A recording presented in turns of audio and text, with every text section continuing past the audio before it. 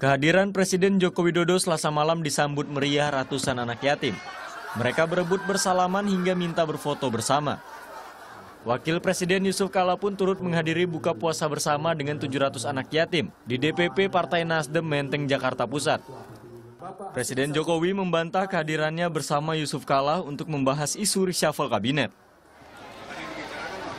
Hmm? Pak, apa? Oh, kalau bertiga tadi di dalam ya berbicara masalah mie Aceh, martabak Medan,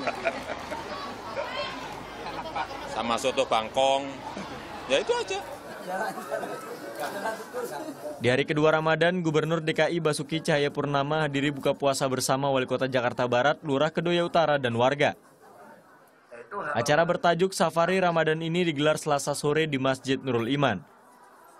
Saya kira ini Safari Ramadan kita rutin aja sambil lihat kan pembangunan masjid apa. Mari kita minta carikan masjid atau surau yang di kampung aja. Ya kita tahun ini kita nggak mau lagi Safari Ramadan di kantor wali kota misalnya. Biar kita datang aja tempat ini. Jadi kita tahu situasi, dengerin mereka ngomong lurah gimana, camat gimana. Tak hanya sekedar buka puasa, melalui ajang ini ia ingin melihat dan mendengar aspirasi warganya. Ia juga sampaikan program pemerintah yang akan diberikan untuk pengembangan pendidikan agama. Safari Ramadan bersama Ahok maupun Wakil Gubernur DKI Jarod Saiful Hidayat akan digelar rutin selama bulan Ramadan. Tim Liputan melaporkan untuk NET.